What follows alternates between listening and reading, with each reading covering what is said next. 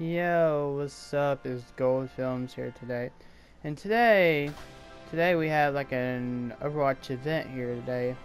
But as I've been noticing that people have been having like problems with their mics lately on this game. Which I know for a fact it ain't your mic, it's in the game because some reason it set all your volume and all that crap to like 100. But I know how you could actually fix that first you want to do is uh, go to options then you go to your sound then you want to set your um I guess uh leave leave sound effects music and in-game voice volumes like that. Uh, leave them at 100 because those don't don't interfere with your mic.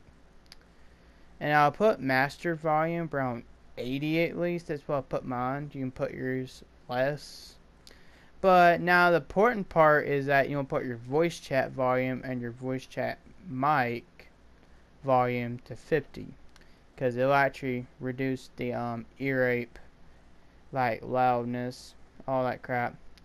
So anyway that that's all you gotta do. Sorry for the short video. Anyway I really hope this video helped you. And if you enjoy my content please subscribe and leave a comment down below and I'll see you on the next video. Peace out my friends.